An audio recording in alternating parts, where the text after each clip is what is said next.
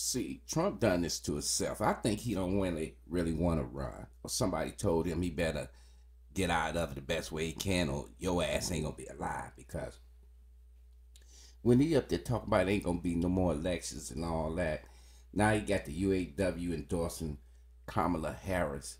You know, Trump knows something because he purposely is fucking his campaign up.